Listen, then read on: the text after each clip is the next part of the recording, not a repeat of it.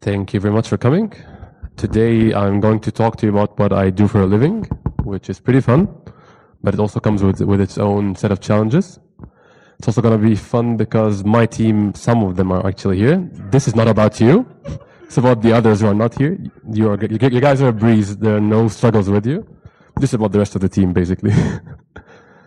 um, a quick who am I about me? My name is Ahmed Sobeh, which is going to be very difficult to pronounce, but that's okay. I'm an engineering manager at Aiven's open source program office. I am on the advisory board uh, for the Joomla Foundation, and you can find some links uh, to my socials if you want to connect with me later on. So usually I start this talk by asking people who knows what an OSPO is, but I guess there's no point in doing that because I think everyone here does know that, which is good. I think year on year, I get more hand raises when I ask uh, well, month to month even, when I ask what, uh, what if people know what an OSPO is. Uh, every second company would have an OSPO now, but they come in very different shapes and forms. It depends on what the company needs or what the organization needs basically to do going forward. Uh, for example, I work at Aiven. We have a data uh, platform. So our OSPO is very upstream focused because the existence of the company depends on upstream projects basically. So that's what our OSPO focuses on. Other OSPOs might focus on legal uh, stuff and legal reviews. Others might focus on community building. Depends basically on what the company or the organization needs, which is also good to see. Uh, also, people who are on the TODO Group can actually experience that and see it uh, during the discussions that we have on it. Very different perspectives and very different issues and problems that people face in different OSPOs. Um, today, I'm going to focus on the issues that I faced at our uh, shape of OSPO which some of them are actually common in other kinds, but let's uh, go through them. But before before that, let's just take a quick stop and look at an average OSPO. If we look at 10 companies with OSPOs, five or six of them are gonna are gonna look like this structure. It's a oh, sorry cross-functional team embedded in your organization. Uh, the team would have open open source developers, program managers, project managers, uh, legal, it depends on your needs. The team will be the center of competency for the organization's open source operations and structure. If you want to ask anything open source related, this is your team to go to. The team oversees open source software management and strategy, when to open source what, what to use when, what's going to change license, uh, and what's dangerous to use. All of this open source uh, knowledge and expertise would be in your team. And the team also oversees open source library selection, license compliance, workflows, and stuff like this. So if you want to ask about anything related to which libraries to use, which you should avoid, that's the team to go to. So this is what an average OSPO looks like, one that's not fitted to the needs of a special case company like the one that we have at Aiven.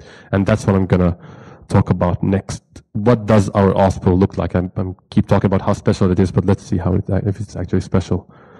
We have almost 15 people working 100% on upstream projects, nothing else, no side jobs, just contributing upstream, making sure the projects are healthy, sustained and maintained. Out of those 15 people, we hire five maintainers of our dependencies as a company, our direct dependencies, the projects that we mostly uh, most depend on. We also have two maintainers of other projects that we do not depend on, but we still have people who are maintainers for them. And when I say our dependencies, these are the projects that I uh, that, that I mean: OpenSearch, ClickHouse, Flink, Postgres, Cassandra, Kafka, and most recently Valkey. We've been helping with the uh, forking efforts for Valkey.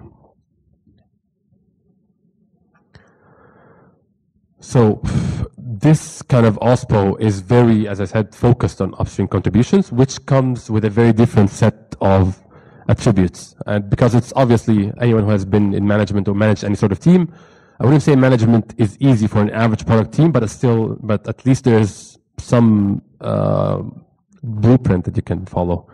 You've seen people manage other teams. You've managed different teams, different companies. You know what to do, basically, what where to start, how to go about dividing stuff between the team members, how to manage the team culture. All of this has sort of a blueprint. But for a team like this, it's a bit difficult because there isn't really a blueprint for something like this.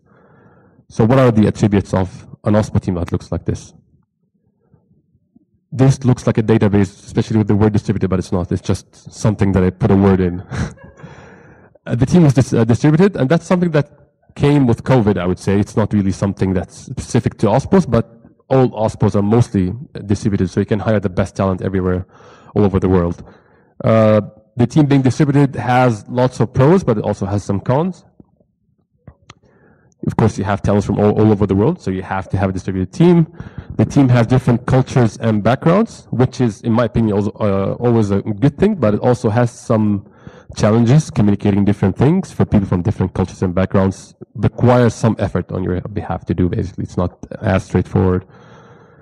They live in different time zones, but that's the essence of open source, really. It's uh, not a huge issue, given if you have people who have experience with open source, they should be able to deal with this and they have different work routines. So if you're hiring people who have been working in open source for a long time, they have very different work routines. They contribute to open source in different parts of their day. So when they change that to become their full-time job, it's, it goes through a transitional period. It's not easy for them to be just working as an open source developer. It used to be a hobby, it used to be a passion. Having it as a job changes a lot of things. Also, when you work or you work eight hours a day as an open source developer, you don't have the same kind of freedom that you had as, a, as an open source developer before because you have to focus focus on specific projects or specific areas of a specific project. So it becomes more, it gets a corporate taste, I would say, which is not also easy to manage. It takes some time. The team is also org separated. Uh, in our company, we have the OSPO completely separate from uh, the rest of, well, I wouldn't say from this company, but the rest of the engineering efforts. We have independent goals, independent timelines. We have a different team structure and report lines. In most OSPOs, you have the team embedded within the organization in some sort of way. And some companies even have one OSPO developer on each team or two OSPO developers on each team. But we have a completely different team with our own director and managers and set of developers. And that also comes with its own challenges in creating a team culture, yeah, helping the team feel as part of the company. That also becomes a big challenge as time goes on because you don't really attach to the company goals. You have different goals, you have different timelines. The company releases its products, let's say every uh, specific cycle. Open source projects have different release timelines, not the same. Could be six months, could be a year, depending on the, the project really. The team is extrospective. The team's efforts are all out, outwards, unlike the rest of the company, where they work together towards developing something inwards and then sharing it with the rest of the world. Your team shares every single line of code or every single um, blog they write, they, they write, talk they give with with people outside of the company, which is quite different. The projects are shared with the community. Even if the company owns a project, you still have the community in mind. You're not doing this for your company, doing it for the rest of the community and for people to use, basically. Uh, projects are administrated by foundations, like the Apache Foundations. It's not yours. You can't decide timelines. You can't decide what happens when. So this also comes with its own struggle, as a manager at least. And community engagement, of course. The team, as I said, engages with the community in everything they do. That also, when it comes to uh, people management, that also comes with its own set of uh, difficulties, which we'll talk about in the next slides.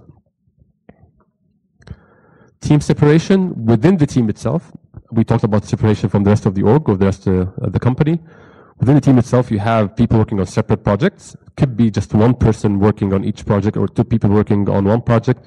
There's a lot of difficulties, uh, when it comes to building team harmony, team culture, stuff like that when you have people working on separate projects individuals working alone. As I said, it could be have some one person working on a project alone. It depends on the person's personality, but it could be quite challenging for some people.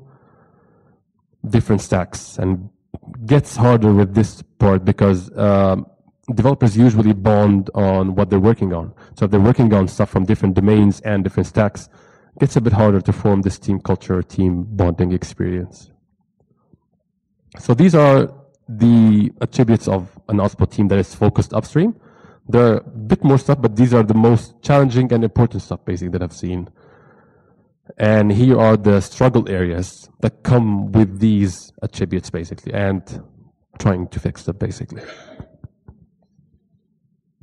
So there are four, I would say pillars or four core, um, yeah, four core pillars that managing any software team, basically, you have to focus on these team, uh, building a team culture, having a way to have goals and plan for the team's future, measuring performance and tracking performance, making sure everyone is on the right track, and growing the careers of the developers. This is not in any particular order. If I would order them, I would put career growth at the start because that's the most important thing, making sure that people are growing every day. But these are the most important um, areas that you need to monitor as a manager, basically. Starting with culture, as I said, that would be a bit difficult given that the team first is different time zones, different countries, works on different stuff. We have a few stuff that we try at our team. We create something called chapters or sub-teams. People working on stuff that are a bit similar. We try to group them together and have some time, some sort of uh, team routine, um, some ceremonies that product teams have basically. But it's yeah, we try to have this in project-based fashion stack-based fashion or domain uh, fashion. So people working on the same project, obviously, will be easier to have ceremonies together. Uh, stack-based, people working on the same language or in the same area could have this sort of thing. Domain-based, people working on streaming get together, people working on databases get together. We try to divide them in this uh, shape or form knowledge sharing across chapters. Even after we have small divisions within the team, we try to have as many ceremonies as possible that group the whole team together, basically, where we share knowledge across different teams, across different projects. It doesn't have to be very technical, just even release issues or release uh, progress between projects, and we can learn from each other, basically, and each people, each person working on a different project can share what happened to them in the other project, and so on midday team uh, social slot, which turns into sort of rambling by most people. we just talk about random stuff really because we're not in the same area. We don't see each other physically, maybe two, three times a year. So uh, we have uh, like in 30, 45 minutes every day to have this team bonding moment, 45 minutes where we talk about just random stuff. We share some of the stuff that we face during the day, some technical, some non-technical. It does help foster, uh, foster a good team culture uh, on a day-to-day basis. And as I mentioned, regional team meetups try to meet like two, three times a year. We use conferences like this one also to uh, see each other because this is what we're all about, basically, open source uh, conferences. So this also helps a lot in the face-to-face -face interaction. So goals and planning. And then when it comes to planning for the future of the team or what areas the team needs to work on, that's quite difficult given that we do not own any of the projects. You can say in the next six months, we will get this uh, developed or get this implemented because it's not our decision, it's the community's decision.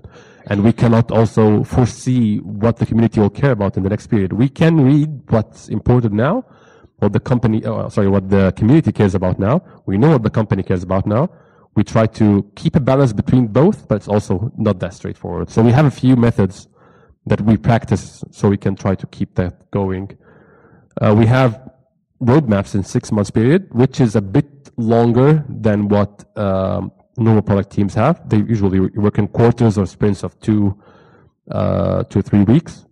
But open source projects are very different. You can have a PR sit for like eight months and nobody's even thumbs it up. So it's quite difficult to work in a normal fashion, like two or three weeks or even a month.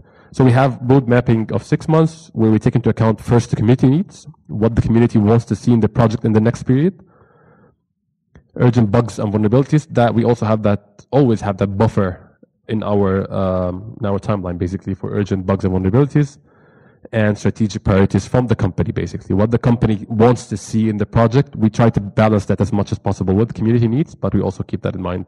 And how do we build that backlog of strategic priorities? We have a weekly sync with the product team.